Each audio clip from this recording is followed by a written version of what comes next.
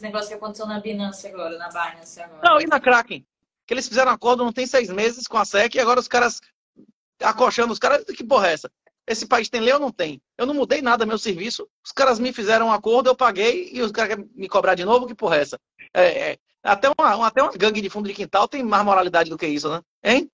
É. Então é isso, pessoal. Esses ETFs significa as maiores empresas do mundo com as maiores quantias de comprar Bitcoin. do mundo comprando Bitcoin, tá bom? Tomando a decisão para elas comprarem tudo de uma Comprando, vez não, Bitcoin. mas Isso podendo comprar. ser. podendo comprar em bolsa normal. Aqui no Brasil não tem, tem dois ETFs no Brasil. Tem é, GBTC, não é isso?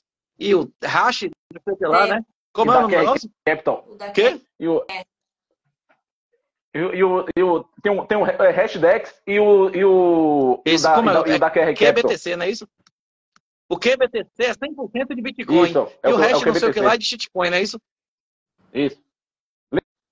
E também tem outro, outro ETF também lá no, lá no Canadá. Só que a diferença eh, do Brasil para o Canadá, a diferença para o Brasil, Canadá e Estados Unidos é que nos Estados Unidos a maior Pois parte é. do, do dinheiro do mundo está lá, né? Os 45 trilhões de dólares.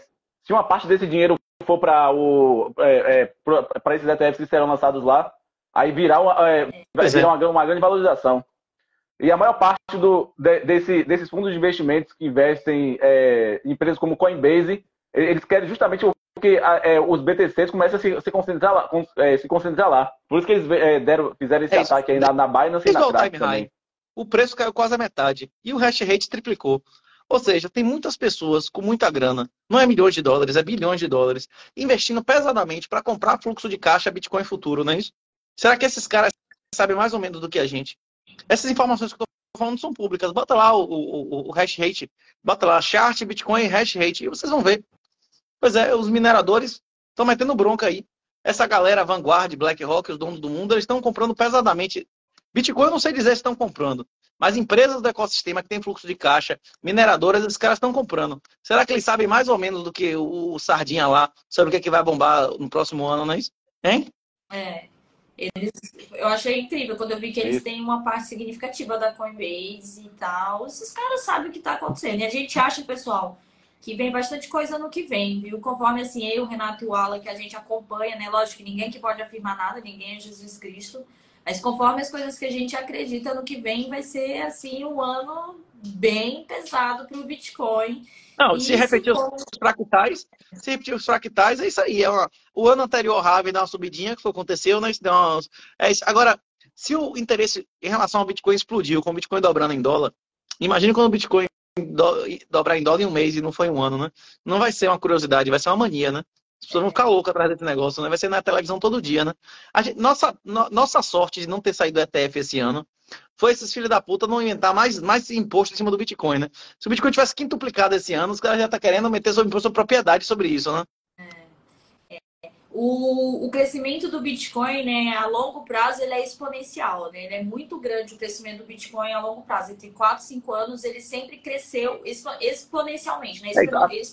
Exponencialmente é sempre duplicando. É isso. E isso sem essas grandes questões que estão vindo por aí. Então, de certa forma, né, só pela questão do modelo de stock to flow, do halving que está vindo, com certeza ele ia continuar ali, né, o modelo de crescer bastante. Imagina com essas questões do ETF vindo, né, essa grande pressão do dinheiro. Eu acredito que vai só ser assim, sem dimensão, o crescimento do Bitcoin, né, se Deus quiser e tal. Então, aquele famoso que o Renato fala, né, as portas, as portas estão se fechando, né. O que a gente deixa a mensagem aqui para vocês é quem ainda não tem Bitcoin, né, estude mais, vai no Linktree do Renato, do Corte 38, procure saber. E quem também ainda não faz autocustódia, né, que procure saber mais a fundo disso. Porque também não adianta nada, né, Renato, ter lá na que a maioria das pessoas, eu acho que é um número muito baixo de pessoas que fazem autocustódia. Tá Então, aumentando. Não adianta nada ter e deixar lá. Tá aumentando. Tá aumentando devagarzinho e tá devagarzinho, como é, e como é constantemente tá aumentando, né?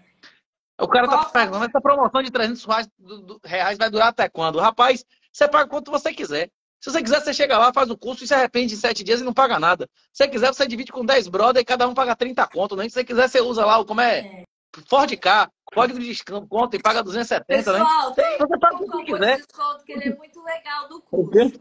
Que ele se chama, para quem quiser comprar o curso, ele está na promoção de 300 reais, de 500 para 300 reais. E quem usar o cupom de desconto FORDK, F-O-R-D-K, ainda vai ganhar 10% de desconto. É. Então o custo está saindo 270 reais, tá bom? E esse cupom de desconto é uma homenagem a uma história aí que eu acho que os nossos filhos ainda vão ouvir falar delas. É que o Renato, há muitos anos atrás, vendeu um FORDK e botou o dinheiro todinho em Bitcoin. Já não era um dinheiro muito relevante lá naquela época, mas hoje em dia é, viu? É, hoje, eu acredito que a maioria... Hoje muda uma vida, né, Renato? É isso. É, já valeu quase o dobro do que vale hoje, né? Porque o Bitcoin bateu o do... quase o dobro em real do que vale hoje, né? Mas acho que a tendência é recuperar aí, viu? É. Vamos ver se. Entendeu? Está perguntando aqui para as pessoas que não sabem nada de finanças, investimentos e curso serve? Sim, com certeza.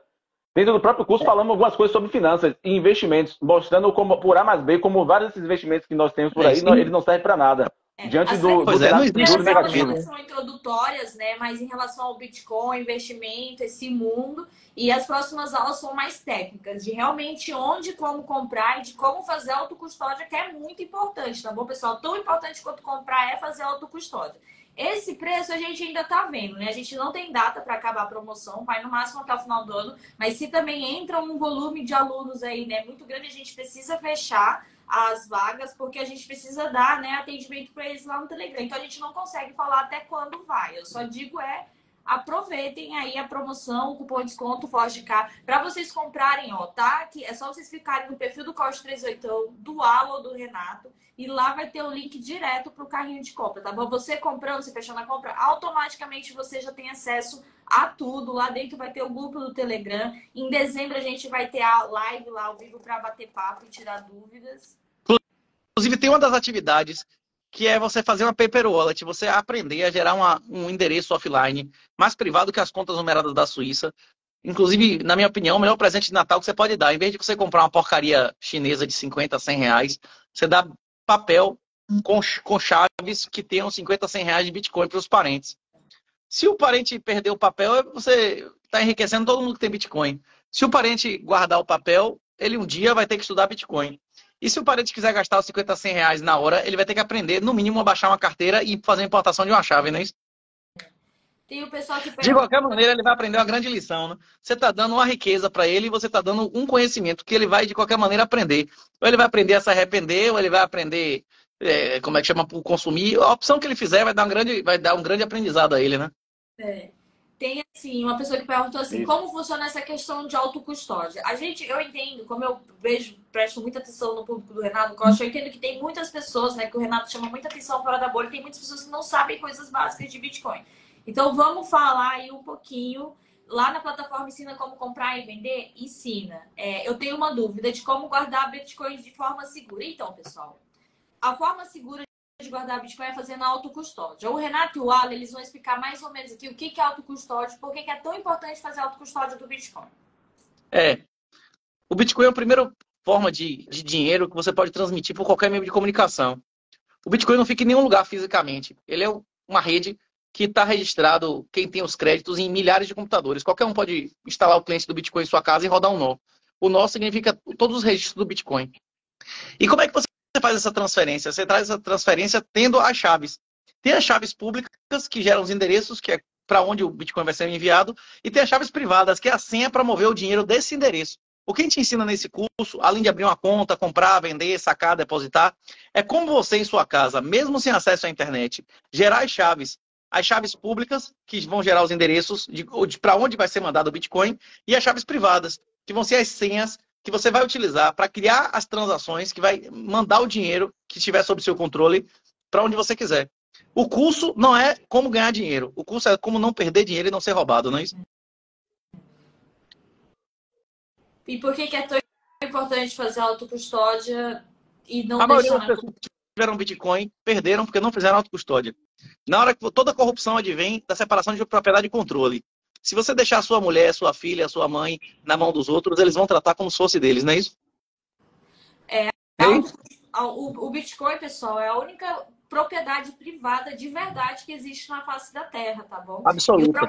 E o propósito do Bitcoin é que você tenha uma coisa, que você guarde o seu valor, que você guarde o seu trabalho, numa coisa que é somente sua e você faz o que bem entender com ela. Mas o Bitcoin ele só te dá tudo isso se você fizer autocustódia. Se você entrar lá, fazer todas as coisas técnicas que precisam, que não são tão simples, mas é possível para qualquer pessoa, principalmente dentro do treinamento do Renato e do Ala. Eu passei essa semana né, levantando o feedback dos alunos e o que eu mais recebi é que o Renato e o Ala eles foram muito diretos ao ponto, foram muito claros e foi muito fácil eles aprenderem tudo isso que precisa ser aprendido para se fazer autocustódia, tá bom, pessoal? Então, assim, não adianta só comprar Bitcoin, tem que fazer autocustódia. Se não, você deixa lá na corretora, o dono da corretora pode sumir com seus bitcoins, como já aconteceu inúmeras vezes, em inúmeros casos, roubos gigantes de bitcoins Isso. que foram roubados. Ou então o governo ele pode entrar lá dentro da corretora e tomar. Então é muito importante que seja feita autocustódia. E o treinamento do Renato e do Ale, ele é especificamente para isso, tá bom? Tem um pouco lá de introdução sobre finanças, sobre Bitcoin, etc. Tem um pouco de compra e venda, mas também tem ensinando várias formas de se fazer autocustódia. Que não existe só uma forma, não existe só um tipo de carteira. Eles ensinaram forma até gratuita de se ter uma carteira de Bitcoin, entendeu? Isso ser só seu, isso é muito importante e muito legal.